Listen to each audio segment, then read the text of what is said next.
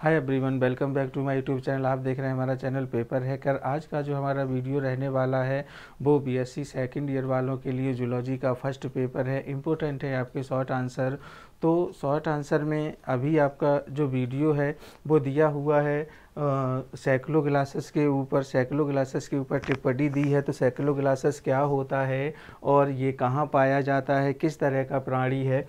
Topic देख लेते हैं सैकलो गिलासस पर टिप्पणी लिखिए। देखिए, जो सैकलो गिलासस है, यह एक कोमल प्राणी होता है, बहुत ही छोटे आकार का प्राणी होता है और ये बिल बनाकर बालू में रहता है। लंबाई इसकी 15 सेंटीमीटर तक होती है और जीवित प्राणी में विशिष्ट प्रकार की आयोडीन जैसी गंध आती है। ठीक है सैकलो गिलासस जो है, फिर से इसके रिपीट थ्योरम को रिपीट कर लेते हैं कि ये जो बालू होती है, यानी बलुई मिट्टी में बिल बनाकर रहने की इसकी प्रवृत्ति होती है। अगर इसकी लंबाई की बात करें तो अराउंड 15 सेंटीमीटर तक होती है और एक जो अडल्ट प्राणी होता है, जीवित प्राणी होता है, इसमें आयोडीन जैसी गंध देखने को मिलती है। आयोडीन जैसी गंध इसके अंदर आती है। देखिए सैक्लो ग्लासेस ये दिया हुआ है। देखिए सैक्लो ग्लासेस के चित्र को हम समझ लेते हैं। देखिए, ये सैक्लो ग्लासेस है। देखा होगा आपने, इस तरह की संरचना, इस तरह के प्राणी आपको बहुत कम देखने को मिलेंगे। तो ये देखिए एकदम, यानी जो इसका अपर साइड होता है, यानी ये देखिए, ये प्रोबोसिस होता है पूरा, ठीक है? ये ये इसका अपर साइड है और अपर साइड में आपका प्रोबोसिस है, ठीक है? और सबसे लास्ट का जो है आपका, ये बैक साइड है, ये लास्ट है आपका, इस, यहाँ पे एनस होता है। अगर हम प्रोबोसिस और एनस को छोड़ करके और और दूसरे एरियाज़ को देखते हैं तो यहाँ पे देखिए जो प्रोवोसिस जिससे जुड़ा रहता है, ये स्टाक होता है और ये स्टाक के बिल्कुल ठीक सामने माउथ होता है। माउथ के बाद में जो नीचे संरचना होती है, जैसे एस्केरिस में पाई जाती है, सेम एज कॉलर होता है और कॉलर के नीचे का जो ये आपको सर्पिल टाइप की जो संरचनाएँ दिख रही हैं, इनमें सबसे बड़ी जो संरचना होती है, वो ब्रांचियल रीजन ऑफ़ ट्रंक होती है। यानी ट्रंक कहने का मतलब एक सुंड टाइप की इसमें संरचना पाई जाती है और इस सुंड टाइप की संरचना के अंदर अंदर जो क्रिस्टल्स स्ट्रक्चर्स पाई जाती हैं, ये गिल्स सिलाइट होती हैं, जो इस स्टाक, माउथ और ब्रांचियल रीजन को स्टेबिलिटी प्रदान करती हैं।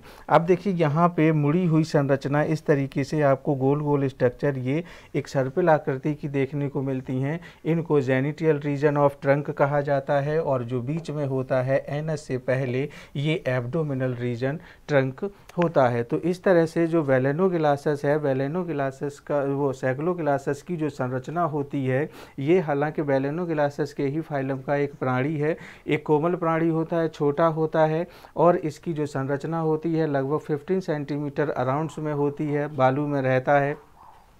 बालू में बिल बनाकर रहने की इस प्राणी की अपनी आदत होती है। तो सैक्लोनो गिला जो है, ये आकार में ज़्यादा बड़ा नहीं होता है ज़्यादा शरीर इसका क्यूटिकल या किसी और आवरण से ढका नहीं रहता है बहुत ही सॉफ्ट होता है कोमल प्राणी होता है इसीलिए ये किसी आ, ज़्यादा मज़बूत ज़मीन में नहीं रह सकता है। ये बालू में ही अपना घर बना करके रहता है। अगर इसके शरीर की हम बात करें, इसका जो शरीर होता है, शरीर अग्र, सुंड, कॉलर तथा पश्च धड़ में बटा रहता है। सुंड शंकुआकार होती है, कॉलर का पश्च किनारा धड़ के अगले भाग पर अपर कुलम की भांति लटका रहता है। यानी जो इसके शरीर का पिछला किनारा है, वो धड़ पर अगले धड़ का जो अगला भाग है, उस पर अपर कुलम की भांति हैंग रहता है।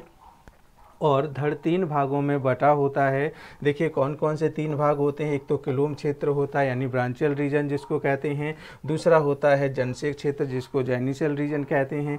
तीसरा होता है उदर क्षेत्र जिसको एब्डोमिनल रीजन कहते हैं। तो इसका धड़ जो होता है, ट्रंक, यानी तीन भागों में बटा रहता है। एक ब्रांचियल रीजन दूसरा जेंशियल रीजन और तीसरा एब्डोमिनल रीजन तो इन अलग अलग भागों में बटे हुए इस सैक्लोग्लासस के शरीर की बनावट ही कुछ अन्य प्राणियों से अलग होती है। इसके शरीर की जो बाह्य सतह होती है, शरीर की बाह्य सतह पछमावी होती है।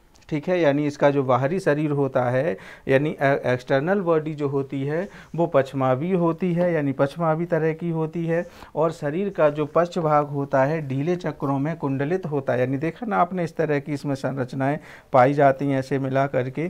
यानी कुंडलित संरचनाएँ इसमें देखने को मिलती हैं। ये जंतु जो होते हैं यूनिसेक्सुअल होते हैं, यानी सिंगुलर एक एक लिंगी जंतु ये होते हैं, ठीक है? और इनमें डेवलपमेंट जो होता है, वो प्रत्यक्ष तरीके से पाया जाता है।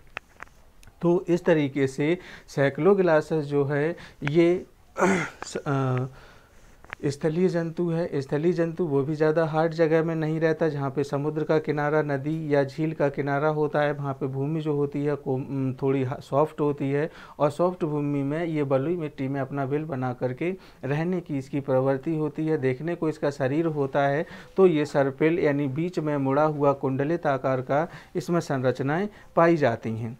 लगातार हमारे वीडियो को देखने के लिए बहुत बहुत थैंक यू आगे हम किसी नई वीडियो में फिर उपस्थित होते हैं। तब तक देखते रहिए हमारे चैनल पेपर हैकर को।